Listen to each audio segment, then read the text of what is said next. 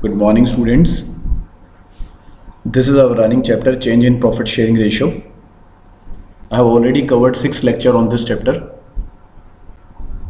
This is my seventh lecture. I hope कि आप लोग क्वेश्चन uh, अच्छे से कर पा रहे हैं उसका प्रूफ ये है कि काफ़ी बच्चे मुझे अपना होमवर्क सेंड कर रहे हैं through WhatsApp this is the positive sign that you people are receiving what I am trying to explain you so thank you once again जो आज का लेक्चर होने वाला है बेटा, उसमें हम कुछ नया तो नहीं करने वाले हैं बट हम पीछे का टॉपिक रिवाइज करने वाले हैं. प्लस जो मेजर पार्ट है, जिसमें हम लोग जो हमने फ़र्स्ट लेक्चर में कवर किया था कैलकुलेशन ऑफ़ एक्चुअल प्रॉफिट जिसके अंदर मेजर स्टूडेंट्स को दिक्कत आ रही होगी, वो टॉपिक हम कवर करने वाले हैं साथ में. क्लियर तो ऑलमोस्ट हमारे सारे फॉर्मूलाज वापस से रिवाइज हो जाएँगे और हम लोग जो फ़र्स्ट चैप्टर के अंदर सबसे इंपॉर्टेंट टर्म थी how to calculate actual profit वो भी हम कवर अप कर लेंगे। क्लियर तो आप स्क्रीन पे देख सकते हो, मैं क्वेश्चन रीड कर रहा हूँ। Question number eight is there Divya purchase Jyoti business with effect from first April 2020 profit shown by Jyoti business for the last three financial year 2018 19 20 तीन साल के प्रॉफिट्स आपके पास गिवन है। क्वेश्चन में आपसे पूछा गया है calculate the value of firm's goodwill on the basis of two year purchase of average profit of last three year clear तो हमें पहले एवरेज प्रॉफिट कैलकुलेट करने के लिए हमें चाहिए एक्चुअल प्रॉफिट और एक्चुअल प्रॉफिट हमारे पास अवेलेबल है नहीं। ना तो 18 का अवेलेबल है, ना 19 का है, ना 20 का है। ऐसा क्यों? क्योंकि कुछ पॉइंट ऐसे हैं इन तीनों प्रॉफिट्स के अंदर जो एडजस्ट होने रह गए हैं। तो आप देखेंगे इनकी एडजस्टमेंट कैसे करनी है। तो सबसे पहले जब आप क्वेश्चन स्टार्ट करेंगे तो first of all you have to write down calculation of actual profit उसके बाद तीनों ईयर के नाम लिख लेंगे 2018, 19, 20 2018 का एक्चुअल प्रॉफिट कितना होगा? देखो वन लैख है आपके पास जो गिवन है इंक्लूडिंग अब नॉर्मल गेन अब normal gain is that kind of gain which is not an actual gain और you can say that it's not an actual income तो for the calculation of actual profit such kind of income हम लोग सच kind of gain हम लोग minus कर देंगे। वो gain कितना है? ट्वेल्व फाइव हंड्रेड तो एक्चुअल प्रॉफिट आ जाएगा टू थाउज़ेंड एटीन का one lakh minus twelve five hundred clear ऐसा हमने फ़र्स्ट वीडियो में जो फ़र्स्ट लेक्चर था इस चैप्टर का, उसमें भी देखा था कि कैसे कैलकुलेट करते हैं एक्चुअल प्रॉफिट उसके लिए क्या प्लस करते हैं और क्या सपरेट करते हैं, ये हमने फ़र्स्ट वीडियो में पहले ही सीख चुके हैं। क्लियर तो 2019 में हमारे पास प्रॉफिट दे रखा है one lakh twenty five thousand after charging अब नॉर्मली अब नॉर्मल लॉस तो अब normal loss is not an actual loss for the calculation of actual profit such kind of loss will be added back तो अब normal loss actual loss तो होता नहीं है। तो कैलकुलेशन ऑफ़ एक्चुअल प्रॉफिट ऐसे लॉसेज को हम वापस से प्लस कर देंगे। तो 2019 का एक्चुअल प्रॉफिट कितना हो जाएगा? 150 क्लियर 2020 के अंदर हमारे पास एक लाख बारह हज़ार पाँच सौ हमारे पास प्रॉफिट है एक्सक्लूडिंग इंश्योरेंस प्रीमियम देखिए इंश्योरेंस प्रीमियम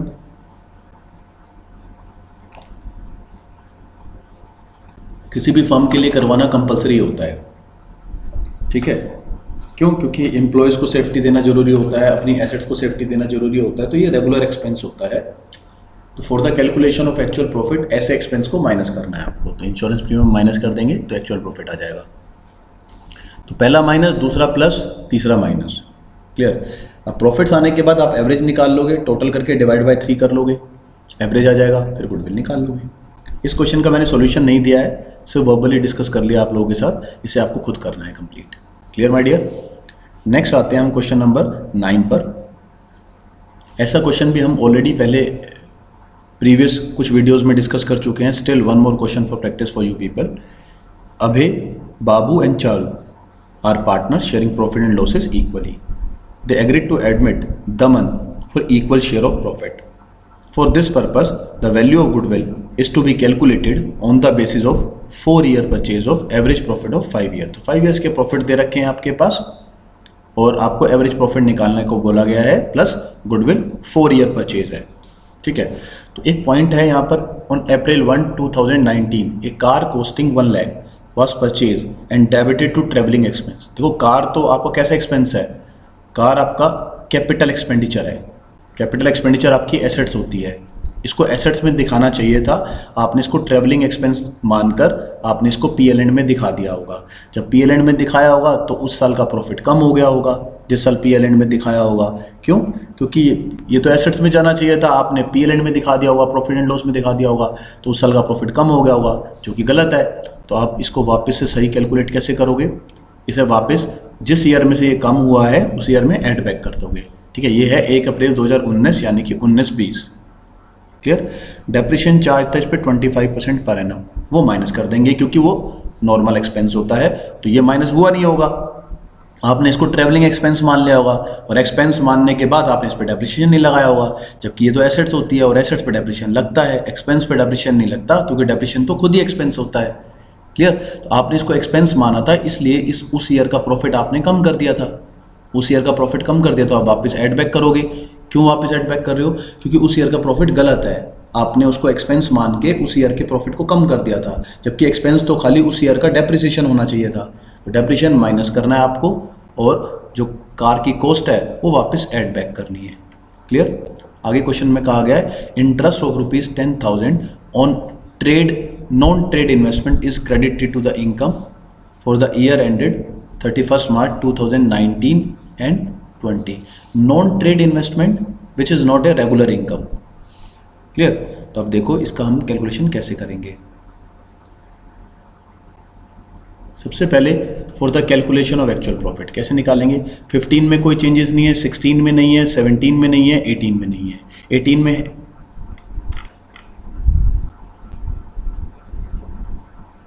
ओके ये है हमारे पास।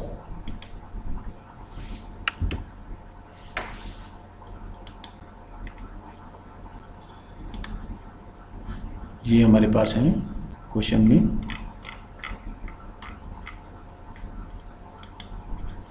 ये जो मेरे पास ईयर है वो है सिक्सटीन। ये ईयर है सेवनटीन। नेक्स्ट ईयर है मेरे पास एटीन। नेक्स्ट ईयर मेरे पास नाइनटीन। और नेक्स्ट ईयर है मेरे पास ट्वेंटी ट्वेंटी इसमें मेरे से एरर हो रखी थी। एनी हाउ देख लो आप। तो सिक्सटीन सेवनटीन एटीन के प्रॉफिट में कोई चेंजेस नहीं है। नाइनटीन में क्या कहा गया है? टेन थाउज़ेंड की non trade investment non trade investment जो हमारा बिज़नेस ना हो, उसके थ्रू इनकम हो जाए। किसी और तरीके से पैसा आ जाए, जैसे हमने कहीं इन्वेस्ट कर रखा हो। तो ऐसी इनकम बिज़नेस की इनकम नहीं होती। For the calculation of actual profit ऐसी इनकम को माइनस कर देना है। दोनों ईयर में से नाइनटीन में से भी ट्वेंटी में से भी। अब ट्वेंटी में सेवेंटी फाइव थाउज़ेंड क्यों प्लस कर रखा है? क्योंकि एक लाख रुपए की एक कार थी, ठीक है, जिसको हमने ट्रेवलिंग एक्सपेंस मान लिया था तो वो एक लाख प्लस कर देंगे। एक लाख प्लस कर देंगे और उस पर डेप्रिसिएशन था पच्चीस ट्वेंटी फाइव परसेंट तो पच्चीस हज़ार माइनस कर देंगे। तो एक लाख प्लस पच्चीस हज़ार माइनस डेप्रिसिएशन तो सेवेंटी फाइव थाउज़ेंड बचा, इसलिए उसने सेवेंटी फाइव थाउज़ेंड माइनस कर रखा है।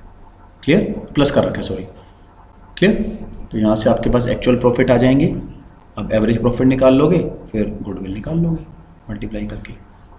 क्लियर ऐसा आप कर चुके हो। नॉन ट्रेड इन्वेस्टमेंट बिज़नेस की रेगुलर इन्वेस्टमेंट नहीं होती। Non trade non trade which is not of trading investment ठीक है?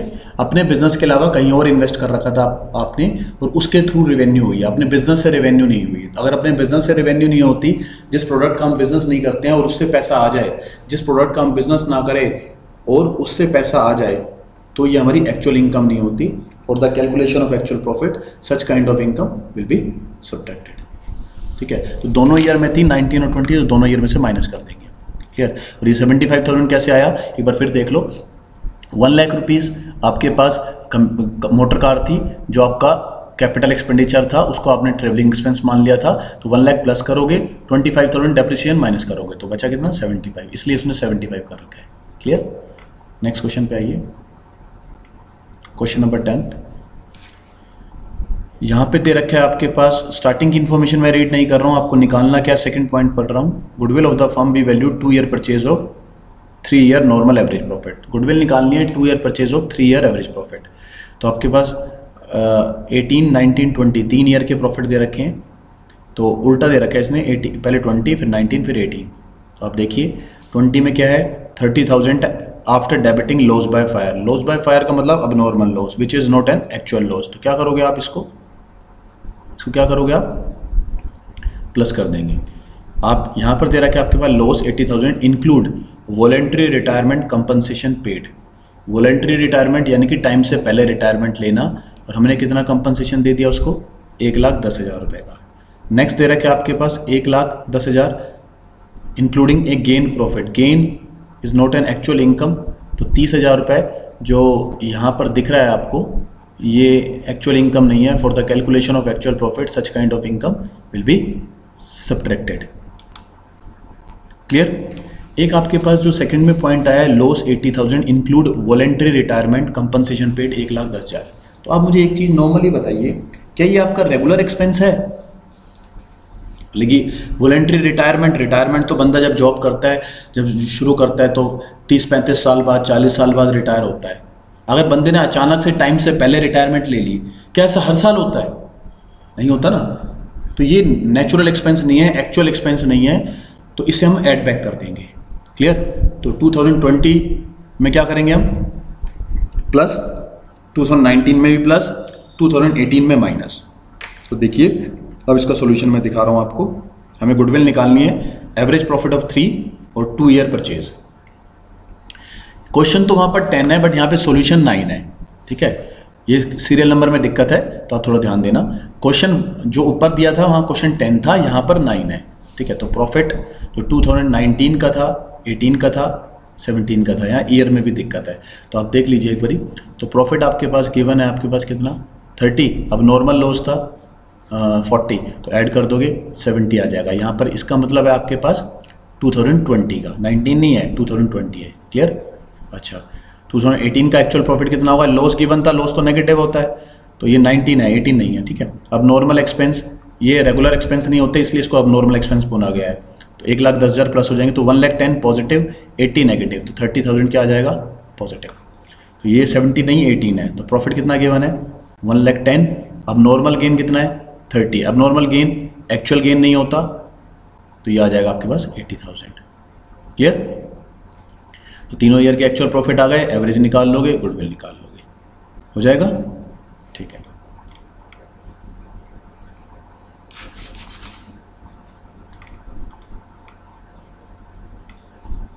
नेक्स्ट क्वेश्चन पे आते हैं बेटे। नेक्स्ट क्वेश्चन पे आते हैं आपके पास आरोन ये वाला क्वेश्चन तो हो गया हमारा। नेक्स्ट क्वेश्चन है आपके पास eleventh question Bhaskar and Pillai are partner sharing profit and losses in the ratio of three ratio two they admit Kanika into partnership for one four share in the profit Kanika bring her share of goodwill in cash goodwill for this purpose is to be calculated two year purchase of average profit of past three year ठीक है? तो तीन साल के profit आपके पास दे रखे हैं। Eighteen nineteen twenty ठीक है? प्रॉफिट दे रखा है एटीन में पचास हज़ार including profit on sale of assets तो sale of assets is not our goods तो such kind of income such kind of profit for the calculation of actual profit minus कर देंगे। नेक्स्ट दे रखा आपको बीस हज़ार का loss including loss by fire तो loss by fire abnormal loss होता है, इसे हम एड बैक कर देंगे। नेक्स्ट प्रॉफिट दे रखा है seventy thousand including insurance claim received eighteen thousand and interest on investment dividend received आपके पास कितना है? एट थाउज़ेंड क्लियर तो इंश्योरेंस क्लेम रिसीव्ड ये आपके बिज़नेस के प्रोडक्ट से तो कमाई नहीं हुई है, जो आपने बिज़नेस के प्रोडक्ट को बेच के कमाया है। तो ऐसी इनकम कोई भी ऐसी इनकम हो जो आपने अपने प्रोडक्ट को बेच के नहीं कमाई है, वो आपकी एक्चुअल इनकम नहीं होती। For the calculation of actual profit such kind of income will be deducted from that particular year profit तो अट्ठारह हज़ार और आठ हज़ार, दोनों की दोनों माइनस करनी है आपको, क्योंकि ये आपकी एक्चुअल इनकम नहीं है। अपना प्रोडक्ट बेच के आपने नहीं कमाई है। For the calculation of actual profit such kind of gain such kind of income such kind of benefit जो आपको मिलते हैं for the calculation of actual profit आपको माइनस कर देने हैं। क्लियर अब इस क्वेश्चन के सॉल्यूशन को देखते हैं हम। बस थोड़ा सा प्रॉब्लम क्या है, वहाँ पर क्वेश्चन नंबर इलेवन है, यहाँ पर क्वेश्चन नंबर टेन है, ये वाली बात ध्यान रखना। और थोड़ा सा ईयर में चेंज है, जहाँ सेवनटीन है, वहाँ एटीन है। जहाँ नाइनटीन है, वहाँ पर तो यहाँ एटीन है। वहाँ ट्वेंटी है तो यहाँ नाइनटीन है, बस ये ध्यान रखना आप, ठीक है? तो पहले ईयर में मैंने आपको बताया था, पाँच हज़ार रुपये माइनस हो जाएँगे, ठीक है? सेल ऑफ़ फिक्स एसेट जो हमारे को प्रॉफिट हुआ था माइनस कर देंगे। सेकेंड ईयर में हमारे पास लॉस बाय फायर था, वो तीस हज़ार प्लस कर दिया। और पहले से लॉस गिवन था बीस हज़ार पॉजिटिव का टेन थाउज़ेंड आ जाएगा। और थर्ड ईयर में हमारे पास दोनों डिविडेंड और इंटरेस्ट ऑन इन्वेस्टमेंट दोनों के दोनों हमारी इनकम थी और एक्चुअल इनकम नहीं थी। For the calculation of actual profit ऐसी इनकम को हम माइनस कर देते हैं। तो हमारे पास एक्चुअल प्रॉफिट कितना आ गया तीन साल का? 99 एवरेज प्रॉफिट निकाल लेंगे, फिर उसके बाद क्वेश्चन को सोल्व कर लेंगे। हो जाएगा बेटा? ओके यस बेटा। ये हमारा नेक्स्ट क्वेश्चन है Sumit purchase Amit business on April one twenty twenty goodwill was valued two year purchase of average normal profit of last four year the profit of last four year दे रखे हैं seventeen eighteen nineteen twenty आपके पास? पहला point है, abnormal loss twenty thousand was debited to profit and loss account for the year thirty first March two thousand seventeen तो abnormal loss which is not an actual loss for the calculation of actual profit ऐसे जो losses हैं, वो वापस add back कर देते हैं। The fix asset was sold at a gain fix assets को प्रॉफिट पे बेचा है, फ़ायदे में बेचा है तो फिक्स एसेट्स को बेचना या खरीदना हमारा बिज़नेस नहीं होता, हमारा प्रोडक्ट नहीं होता। ऐसी इनकम ऐसे फ़ायदे for the calculation of actual profit subtract कर देते हैं। क्लियर नेक्स्ट ईयर में है insurance premium as we have already discuss in the previous question कि इंश्योरेंस प्रीमियम जो है हमारा रेगुलर एक्सपेंस होता है, ये हमें करवाना कंपलसरी होता है तो for the calculation of actual profit such kind of expense हम माइनस कर देते हैं। तो अब देखो आप इसका सोल्यूशन मैंने कैसे कर रखा है। तो आपके पास चार साल के प्रॉफिट गिवन थे तो पहले आप ऐसे कॉलम बना सकते हो ईयर प्रॉफिट और लॉस एडजस्टमेंट नॉर्मल प्रॉफिट कह सकते हो या एक्चुअल प्रॉफिट कह सकते हो। ऊपर लिख सकते हो calculation of actual profit clear तो 17, 18, 19, 20 जो आपके प्रॉफिट्स हैं वो आप डाल देंगे जो एक्चुअल गिवन थे क्वेश्चन में 80, 145, 160, 2 लैख पहले में था आपके पास अब नॉर्मल लॉस अब नॉर्मल लॉस हमने ट्वेंटी थाउज़ेंड ऐड कर दिया तो हमारा एक्चुअल प्रॉफिट कह सकते हो आप या नॉर्मल प्रॉफिट कह सकते हो वन लैख आ गया। सेकेंड ईयर में हमारे पास ट्वेंटी फाइव थाउज़ेंड का profit on sale of fix assets था तो वो हमारी इनकम नहीं होती for the calculation of actual profit minus कर देते हैं। थर्ड ईयर में हमारे पास इंश्योरेंस प्रीमियम था पंद्रह हज़ार रुपये का, जो हमारा रेगुलर एक्सपेंस होता है माइनस कर देंगे। फोर्थ ईयर में कोई चेंजेस नहीं था एज इट इज़ पूरा का पूरा डाल देंगे। क्लियर ऐड किया एक्चुअल प्रॉफिट एवरेज प्रॉफिट निकाल लिया डिवाइड बाय फोर करके। गुडविल जितने ईयर परचेज है, उतने ईयर परचेज से हमने गुडविल निकाल ली। क्लियर यस बेटे। अभी तक हमने जितने भी क्वेश्चन आज प्रैक्टिस किए हैं, उसमें से सबसे इंपॉर्टेंट क्वेश्चन है ये Geet and Meet are partner in a firm they admit Jeet into the partnership for equal share it was agreed that goodwill is valued goodwill will be valued three year purchase of average profit of last five year profit दे रखे हैं आपके पास last five year के profit और loss दे रखे हैं। Sixteen में लॉस है सेवनटीन में प्रॉफिट है एटीन में प्रॉफिट है नाइनटीन में प्रॉफिट है ट्वेंटी में भी प्रॉफिट और कुछ पॉइंट्स नीचे दे रखे हैं। The firm had gain fifty thousand from sale of machinery sold in the year thirty first March two thousand seventeen आपको पता है ये अब नॉर्मल गेन है। For the calculation of actual profit ऐसे गेन को माइनस कर देंगे। उसके बाद दे रखे आपके पास अब नॉर्मल लॉस इन एटीन इसे ऐड बैक कर देंगे। क्लियर उसके बाद दे रखा overhauling cost of second hand machinery overhauling होता है उसके ऊपर खर्चा करना। एक्चुअल में ये कैपिटल एक्सपेंडिचर होता है। और हमने इसको रिपेयर मान लिया। ओवर हेलिंग जैसे बिल्डिंग के ऊपर बिल्डिंग बनाना। जैसे एक बिल्डिंग बन गई, आपकी मान लो सेकेंड फ्लोर बन चुका है थर्ड फ्लोर बनाना फोर्थ फ्लोर बनाना ओवर हेलिंग ये होता है, उसके ऊपर खर्चा करना। क्लियर तो आपने सेकेंड हैंड मशीनरी खरीदी है, हो सकता है उसके कुछ पार्ट्स लगवाए हैं, उसके अंदर। क्लियर उसके ऊपर खर्चा किया आपने। ठीक है रिपेयर करवाया, उसको बहुत अच्छे से मेंटेन करवाया, उस पर ज़्यादा खर्चा किया है। क्लियर बिल्कुल मॉडिफाई करवा दिया उसको। तो आपने उसको रेवेन्यू एक्सपेंडिचर मान लिया रिपेयर माना है आपने उसको रेवेन्यू एक्सपेंडिचर मान लिया। तो ऐसा मानने से आपका उस साल का प्रॉफिट जो है कम हो गया, जबकि ये तो एसेट्स थी एक लाख रुपए की। आपने उसको रेवेन्यू एक्सपेंडिचर मान लिया और उसके ऊपर जो डेप्रिसिएशन लगना था, वो लगाया नहीं। डेप्रिसिएशन कब लगना था? एक जुलाई 2018 यानी कि एटीन नाइनटीन इसमें। और अब देखना, ये ध्यान रखना, ये वाला पॉइंट जो सबसे इंपॉर्टेंट क्यों है? क्योंकि यहाँ डेप्रिसिएशन 19 वाले ईयर में भी लगेगा और 20 वाले में भी लगेगा। 19 वाले में नाइन मंथ का लगेगा और 20 वाले में पूरे साल का लगेगा। रिटर्न डाउन वैल्यू मेथड है और एक लाख पे डेप्रिसिएशन लगेगा। ये वाली बात ध्यान रखनी है। दोनों ईयर पे डेप्रिसिएशन लगेगा। नाइनटीन पे भी लगेगा और ट्वेंटी पे लगेगा। एटीन का मतलब है यहाँ पर एटीन नाइनटीन समझ रहे हैं ठीक है। अब इसका सोल्यूशन देखिए। जो मैं आपको सोल्यूशन दिखाने वाला हूँ क्वेश्चन में जैसे यहाँ पर 16, 17, 18, 19, 20 है वहाँ पर 15 से 19 है। तो आप उसी हिसाब से एडजस्ट कर लोगे क्वेश्चन को।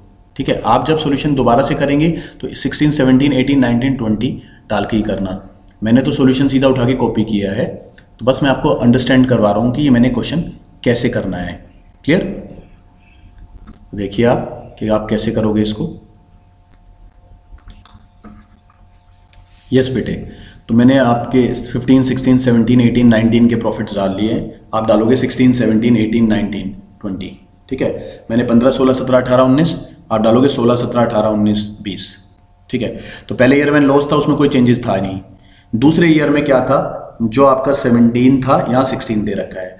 दूसरे ईयर में अब नॉर्मल गेन था पचास हज़ार रुपये का सेल ऑफ़ फिक्स एसेट्स करके तो वो हमने कैलकुलेशन ऑफ़ एक्चुअल प्रॉफिट वो माइनस कर दिया। थर्ड ईयर में जो 18 था, उसमें हमारे पास बीस हज़ार रुपये का अब नॉर्मल लॉस था, वो हमने एड बैक कर दिया। अब आता है जो 19 और 20 ईयर था, जो सबसे इंपॉर्टेंट थे, उसको देखना है आपको। 19 में एक लाख रुपए का एक्सपेंडिचर था ओवरहेलिंग का, जो उसके ऊपर किया गया था एक जुलाई को। ठीक है? तो एक जुलाई को एक लाख रुपए पे डेप्रिसिएशन बनता है, एक जुलाई से इकतीस मार्च तक पंद्रह हज़ार रुपए। तो आपको एक लाख प्लस करना था। क्यों? क्योंकि वो एक्चुअल एक्सपेंडिचर था नहीं। ओवरहेलिंग तो एसेट्स के ऊपर होता है। तो एक लाख रुपए प्लस करना था और पंद्रह हज़ार माइनस करना था। तो इसने कितना प्लस कर रखा है? एटी फाइव क्लियर अब एक लाख में से पंद्रह हज़ार का डेप्रिसिएशन लग गया। ठीक है तो कितनी वैल्यू बच गई? एटी फाइव थाउज़ेंड वैल्यू बच गई। उस 85 पे 20 परसेंट नेक्स्ट ईयर डेप्रिसिएशन लगेगा। रिटर्न डाउन वैल्यू मेथड था। अगर एक और ईयर होता, फिर 85 में से 17 और माइनस हो जाता। फिर अगले ईयर में डेप्रिसिएशन लगता तो अगले ईयर में से कितना माइनस कर रहा कैसे देखो 17,000 कैसे? दोबारा देख लो। एक लाख मैंने प्लस किया जो आपकी बुक के अंदर आपके पास क्वेश्चन था उसमें एक जुलाई 2018 था। यहाँ पर यहाँ पर आप मान के चलो 17 2018 था तो 18 से 19 तो 18 से 19 वो जो जो हमने ओवर हेलिंग का खर्चा किया था वो एक जुलाई को किया था। तो एक जुलाई से इकतीस मार्च नौ महीने होते हैं तो नौ महीने का डेप्रिसिएशन लगता है आपका पंद्रह हज़ार रुपए बीस परसेंट। क्लियर तो पंद्रह हज़ार माइनस कर दोगे क्योंकि वो एक्चुअल एक्सपेंस है और एक लाख प्लस कर दो क्योंकि वो एक्सपेंस था नहीं ओवरहेलिंग एसेट्स होती है। क्लियर वो आपने एक्सपेंस मान के माइनस कर रखा था तो एक लाख प्लस कर दोगे, पंद्रह हज़ार माइनस कर दोगे। तो कितना आया? 85 अब उस एसेट्स की वैल्यू अगर आपसे पूछूँ डेप्रिसिएशन लगने के बाद कितनी है तो आप कहोगे 85 तो अगले साल भी डेप्रिसिएशन लगना था, क्योंकि रिटर्न डाउन वैल्यू मेथड था। तो अगले साल डेप्रिसिएशन लगता है 85 पे तो कितना आता? 17 वो अगले ईयर के प्रॉफिट में से माइनस हो जाएगा। उसके बाद आपको पता है एवरेज प्रॉफिट निकाल लोगे देन गुडविल जितना ईयर परचेज है, कर लोगे simple clear thank you very much for today's lecture बस आप करते रहिए इसकी प्रैक्टिस और अपने डाउट्स भी मुझसे शेयर करते रहिए। जितना हो सके, जितना प्रैक्टिस कर सकते हो बेटा एडिशनल जितने क्वेश्चंस कर सकते हो, आप इसके एडिशनल क्वेश्चन भी प्रैक्टिस कर सकते हो बुक के। सारे एग्जांपल्स भी कर सकते हो। अब कैपिटलाइजेशन मेथड तक आप इसके सारे क्वेश्चंस कर सकते हो। बस मैं इस टॉपिक के ऊपर आपको एक वीडियो और फॉरवर्ड करूँगा। Clear? Thank you for today's class. Thank you very much.